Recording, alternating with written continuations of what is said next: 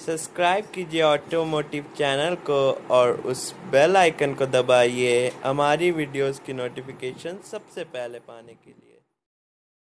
Hello दोस्तों the most anticipated SUV that is none other than Mahindra Thar 2020 की booking चालू हो चुकी है दोस्तों। रिपोर्ट्स की माने तो कुछ डीलरशिप ने इसकी बुकिंग लेना चालू कर दिया गया है और हमें सूत्रों से जानकारी मिली है कि यह अगस्त में इसी साल लॉन्च होने वाली है।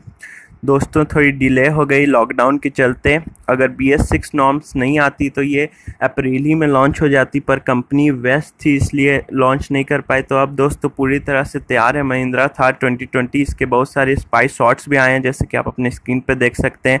सबसे पहले बात करें इसके इंजन की तो इसमें मिलेगा 2.2 लीटर का डीजल इंजन जो महिंद्रा स्कॉर्पियो से लिया जाएगा, और जिसकी मैक्सिमम पावर होगी one 140 PS and a peak torque of three hundred 320 Nm वो लीटर का भी इंजन हमें प्रोवाइड करेगी महिंद्रा।